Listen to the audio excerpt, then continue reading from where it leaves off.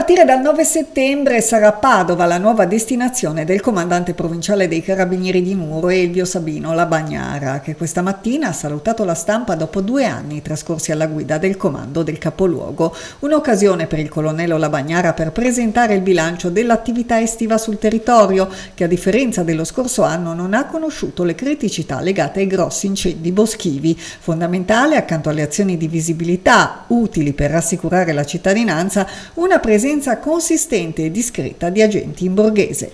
Dal primo di giugno al primo settembre, quindi a ieri, possiamo dire che eh, siamo molto soddisfatti del, di come è andata quest'estate nuorese,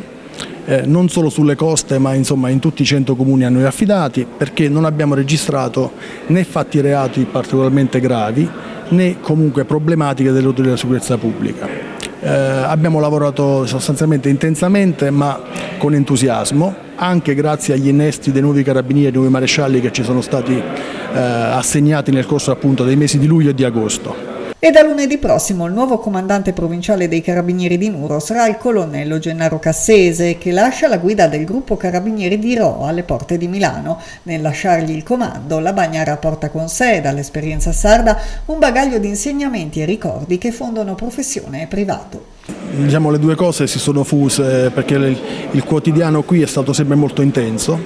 eh, io dirò sempre sostanzialmente che eh, l'incarico di comandante provinciale in questa terra, in questa provincia, è ritengo il massimo che potessi eh, desiderare. Non lo faccio insomma, per piaggeria o per salutarvi, ma perché effettivamente ho potuto avere eh, la percezione e l'onore di eh, uno staff nutrito di ufficiali e di personale,